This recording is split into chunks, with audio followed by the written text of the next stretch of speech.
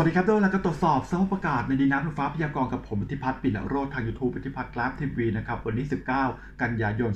2563 ครับ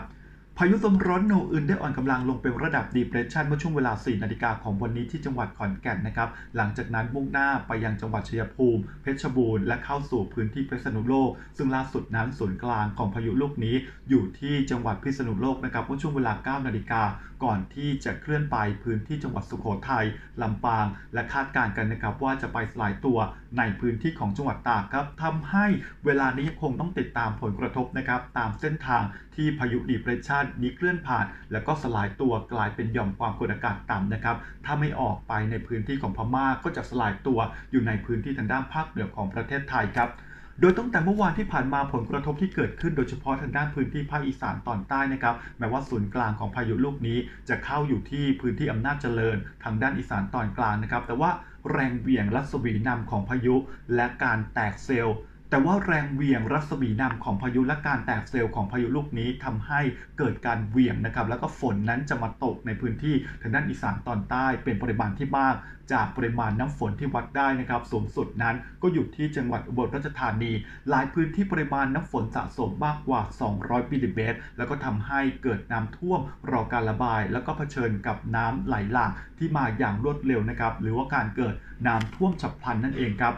สำหรับพื้นที่ที่จะต้องเตือนกันต่อไปในวันนี้ก็คือพื้นที่ทางด้านภาคเหนือนะครับที่อยู่ทางด้านฝั่งตะวันตกครับเพราะว่าเป็นเส้นทางที่พายุลูกนี้กำลังจะค่อยๆ เคลื่อนออกไป และเวลานี้ก็ค่อนข้างที่จะเคลื่อนตัวได้ช้านะครับขณะที่มรสุมทางด้านตะวันตกเฉียงใต้ ก็ยังถูกเหนี่ยวนำนะครับที่ดึงขึ้นไปเข้าสู่ตัวของพายุนะครับแล้วก็พัดวนขึ้นไปจากภาพแผนที่อากาศ แล้วก็แบบจำลองสภาพอากาศที่เราเห็นและดาวเทียมเนี่ยก็จะเห็นนะครับว่ามรสุมตะวันตกเฉียงใต้ จะมีกำลังแรงขึ้นครับ เพราะฉะนั้นก็ทำให้เกิดฝนตกในพื้นที่ทางด้านฝั่งตะวันตกของประเทศไทยนะครับ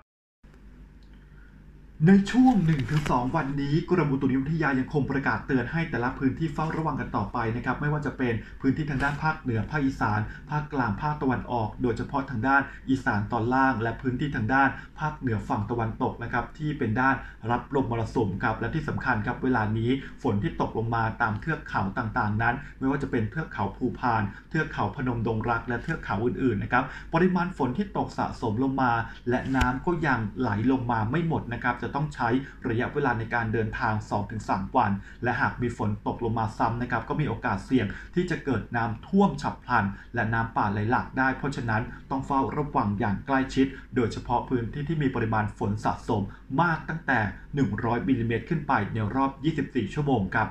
และจากแผนที่ที่กรมอุตุนิยมวิทยาได้เตือนไว้สีเหลืองหมายถึงฝนตกหนัก สีแดงหมายถึงฝนตกหนักมาก ซึ่งวันนี้พื้นที่สีแดงก็จะอยู่ส่วนพื้นที่ทางด้านภาคเหนือ และทางด้านฝั่งตะวันตกของประเทศไทยนะครับตามเส้นทางที่พายุลูกนี้กำลังเคลื่อนผ่านนะครับแม้ว่าล่าสุดนั้นศูนย์กลางของพายุดีเพรสชันที่คาดว่าจะสลายตัวและอ่อนกำลังลงเป็นหย่อมความกดอากาศต่ำก็จะอยู่ในพื้นที่ของภาคเหนือนะครับจะต้องใช้ระยะเวลาในการเคลื่อนตัวออกไปครับหมายความว่าพื้นที่ที่เกิดฝนในวันนี้ก็ยังจะคงมีอยู่ในพื้นที่ของทางด้านภาคเหนือนะครับ โดยเฉพาะจากแบบจำลองสภาพอากาศของ ECMWF นะครับ ที่คาดการณ์ว่าพายุลูกนี้จะออกไปสู่พื้นที่บริเวณของพม่า แต่ว่าก่อนที่จะเคลื่อนตัวออกไปนั้นก็จะผ่านในพื้นที่ ไม่ว่าจะเป็นพื้นที่ของจังหวัดลำปาง จังหวัดตาก และรัศมีนามของมันนั้น ก็ส่งผลกระทบขึ้นไป ทางด้านภาคเหนือไม่ว่าจะเป็นเชียงใหม่ รวมถึงแม่ฮ่องสอนครับก็ยังส่งผลทำให้เกิดฝนตกหนักในหลายพื้นที่ได้อยู่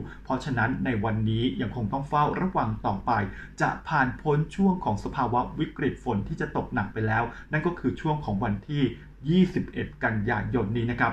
สำหรับประชาชนในพื้นที่เสี่ยงภัยก็ต้องเฝ้าระมัดระวัง และติดตามอย่างใกล้ชิดนะครับ แม้ว่าพายุลูกนี้อาจจะรุนแรงน้อยกว่าที่คาดการไว้ แต่ก็ถือว่าเป็นการเตรียมความพร้อมและการรับมือครับ ส่วนพื้นที่ที่ได้รับผลกระทบนั้นนะครับก็ต้องเร่งฟื้นฟูและเยียวยา และตรวจสอบกันต่อไป โดยเฉพาะเวลานี้กรมป้องกันและบรรเทาสาธารณภัย สรุปออกมานะครับว่ามีพื้นที่ที่ได้รับผลกระทบในพื้นที่ภาคอีสานมากกว่า 10 จังหวัดด้วยกันกันครับ และหลังจากนี้ก็ยังคงต้องสำรวจความเสียหายสำหรับบ้านเรือนของประชาชน ที่ได้รับอิทธิพลของพายุโนอื่นนะครับ และก็คาดการณ์กันว่าในช่วงปลายปลายเดือนนี้นะครับต้องจับตาในช่วงประมาณวันที่ 28-29 กันยายน อาจจะมีหย่อมความกดอากาศต่ำที่อาจจะก่อตัวและพัฒนาตัวกลายเป็นพายุลูกใหม่ก็เป็นได้ ต้องจับตากันอย่างใกล้ชิดสำหรับวันนี้ลาคุณผู้ชมไปก่อนนะครับ สวัสดีครับ